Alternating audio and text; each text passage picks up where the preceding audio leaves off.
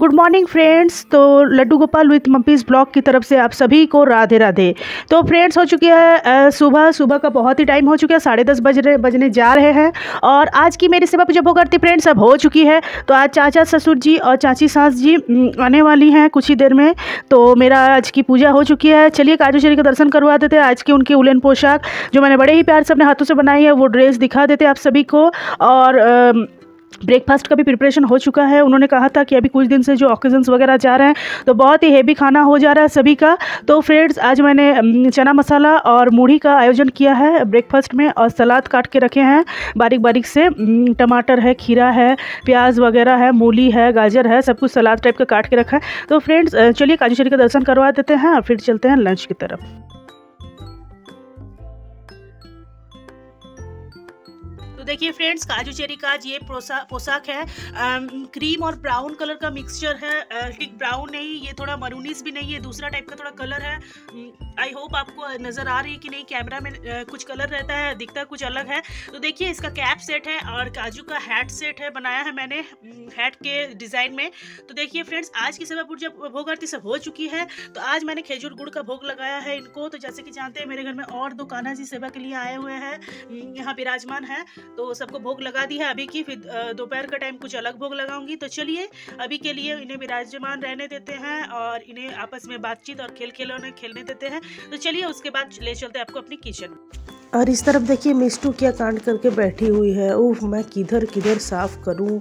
पूरा पाउडर एकदम निकाल के चारों ओर करके रखी है। देखिए और पूरा एकदम शिवजी बन गए हैं, भस्म लगा के। मैंने क्या बोले, मैंने पूरा देखिए, एकदम मेरा काम एकदम पूरा बढ़ा के रख देती है ये।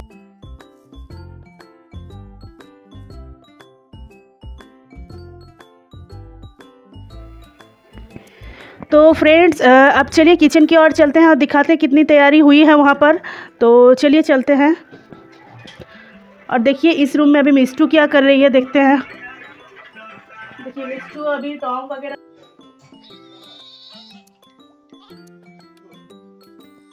देख रही है गेम खेल रही है और देखिए सिन्हा जी अभी ब्रेकफास्ट किए हैं।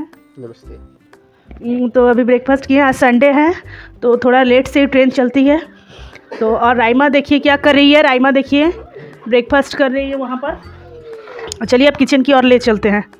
सो so फ्रेंड्स अब मैं आ गई हूँ किचन में और दिखाती हूँ कि कितना सा तैयारी हुआ है और और क्या क्या करना बाकी है। तो देखिए मछली के कालिया के लिए मैंने मसाला रेडी करके रखा है और यहाँ पालंग साग, पाँच मिसाली सब्ज़ी देखिए मैंने बनाया है और चना मसाला यहाँ बना हुआ है नाश्ता के लिए और ये जो है मेथी साग, मेथी बैगन मिला के साग बहुत ही टेस्टी लगती है।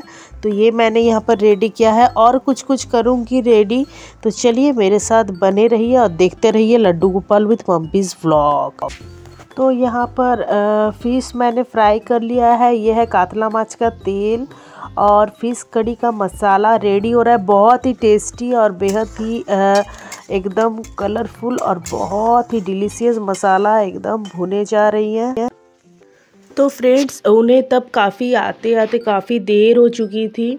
तो तब फिर मैंने लंच तो आपको दिखाई दिया तो फ्रेंड्स देखिए, अभी रात का टाइम है तो अभी मैंने आटा गूँथ के रखा है रोटी के लिए और कुछ रोटियाँ मैंने बना ली हैं अभी बच्चों वगैरह के लिए और सबके लिए और बाकी आटा एक्स्ट्रा गूँथ के रखा है, अगर लगेगा तो।